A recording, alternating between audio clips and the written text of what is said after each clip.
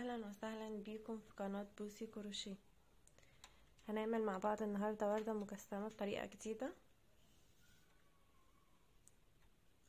هنجيب الخيط وهنعمل عقدة البداية.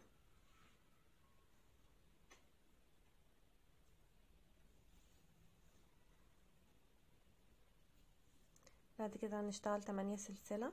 واحد اتنين تلاتة أربعة خمسة ستة سبعة تمانية.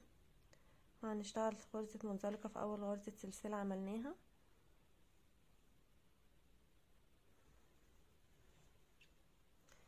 بعد كده هنشتغل تلاتة سلسلة. وهنشتغل جوه الحلقة. هنشتغل فيها أربعة وعشرين غرزة عمود بلفة. واحد.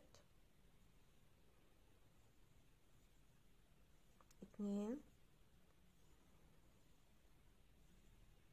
تلاتة. أربعة. خمسة. ستة. هكمل كمان على الستة دول. هعمل كمان تسعتاشر. عمود وهرجع لكم تاني. اشتغلت أربعة وعشرين عمود مع التلاتة السلاسل الارتفاع يكون معايا خمسة وعشرين عمود. هسيب سلسلة اتنين وهدخل في السلسلة التالتة وهشتغل فيها غرزة منزلقة.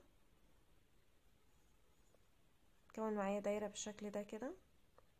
هنروح عند أول غرزة وهنشتغل برضو فيها غرزة منزلقة. هنبتدي نشكل البتلة. هنرتفع تسعتاشر سلسلة.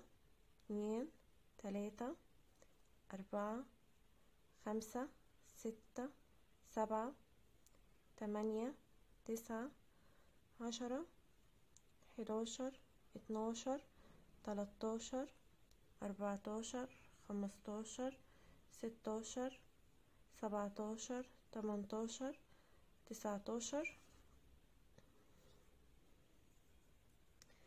هنسيب الغرزة اللي فيها الإبرة. هنروح للغرزة اللي بعديها على طول وهنشتغل فيها اتنين غرزة حشو. واحد وفي نفس المكان هدخل واعمل كمان غرزة حشو. والغرزة اللي بعديها برضو هشتغل فيها اتنين حشو. واحد اتنين. اللي بعديها هشتغل فيها اتنين غرزة نص عمود. واحد وفي نفس المكان هعمل كمان واحدة. اللي بعديها برضو هشتغل فيها اتنين غرزة نص عمود. واحد. اتنين. يبقى أنا اشتغلت في غرزتين عملت في كل واحدة اتنين غرزة حشو واشتغلت في غرزتين كمان عملت في كل واحدة اتنين غرزة نص عمود. همشي للآخر هعمل في كل غرزة اتنين غرزة عمود بلفة. اشتغل فوق كل غرزة هشتغل فيها اتنين غرزة عمود بلفة.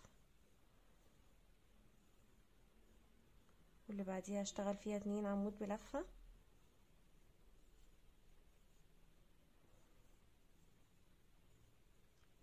والغرزة اللي بعديها هشتغل فيها اتنين غرزة عمود بلفة.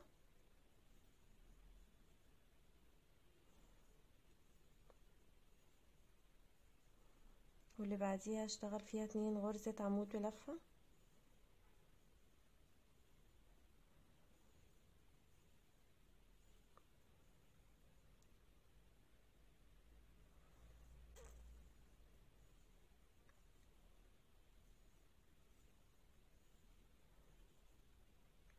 هشتغل فوق كل غرزة من الغرز اللي موجودة السلاسل اللي أنا عملتها. هشتغل فيها اتنين غرزة عمود بلفة. هكمل بنفس الطريقة لحد ما أخلص السلاسل وأرجع لكم تاني. اشتغلت بنفس الطريقة في كل غرزة عملت فيها اتنين غرزة عمود بلفة لحد ما وصلت لآخر غرزة. هسيب غرزة اتنين تلاتة وهشتغل في الغرزة الرابعة غرزة منزلقة.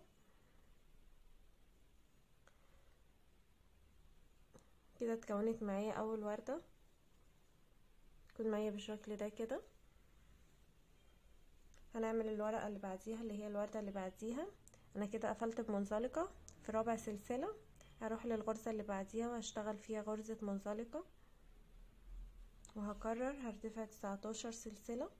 واحد اتنين تلاتة أربعة خمسة ستة سبعة تمانية تسعة.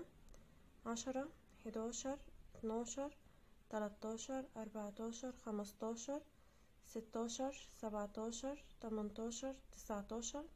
بسيب الغرزة اللي فيها الإبرة وبشتغل في الغرزة اللي بعديها على طول اتنين حشو كده واحد وفي نفس المكان بعمل كمان واحدة. واللي بعديها برضو بشتغل فيها اتنين حشو. اللي بعديها بشتغل فيها اتنين نص عمود.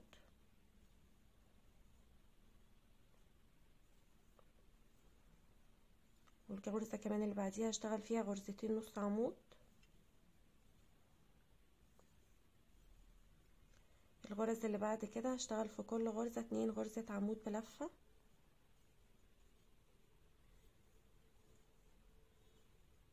هشتغل في كل غرزة غرزتين عمود بلفة وأرجع لكم تاني.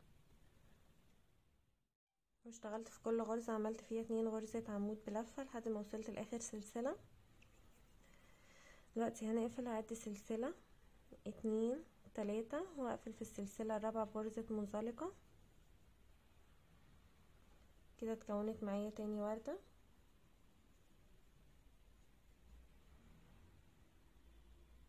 تكون معايا بالشكل ده كده. هكمل بنفس الطريقة إن أنا هشتغل في الغرزة اللي بعديها منزلقة. بعد ما قفلت المنزلقة هروح برضو للغرزة اللي بعديها وأشتغل فيها غرزة منزلقة. واكرر ارتفع 19 سلسلة وبكرر نفس الخطوات. هكمل بنفس الطريقة لحد ما أوصل. أنا عملت بتلتين هيكون فاضل معايا تلاتة وهرجع لكم تاني عشان نخيطهم في بعض. اشتغلت بنفس الطريقة لحد ما وصلت لنهاية الدور. وسبت تلات غرز وقفلت بالغرزة الرابعة المنزلقة. هسحب الخيط بس هسيب خيط طويل شوية عشان هخيط الوردات في بعض.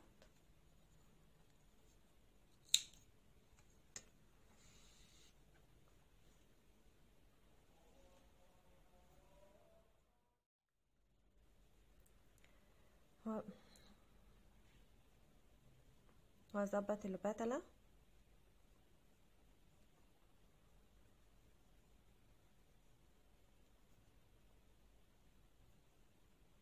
تكون معايا بالشكل ده كده؟ دلوقتي هخيط من تحت. أنا حطيت إبرة التنظيف في الخيط.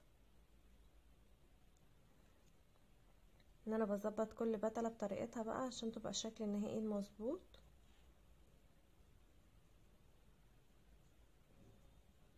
وبثبتها بالخيط طبعا.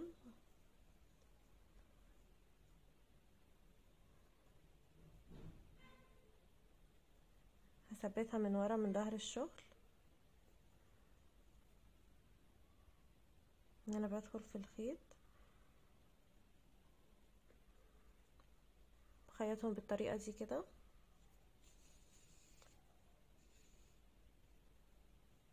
هخيط كل البتلات اللي معايا بنفس الطريقة كده وهرجع لكم اوريكم الشكل النهائي هيكون عامل إزاي. خيطتها خيطت كل بتلة تكون معايا بالشكل ده كده. ومن ورا الخياطة مش باينة. وثبتت وردة مجسمة شكلها جميلة وجديدة. لو عجبكم الفيديو أو استفدتم منه أعملوا like و share واشتراك في القناة.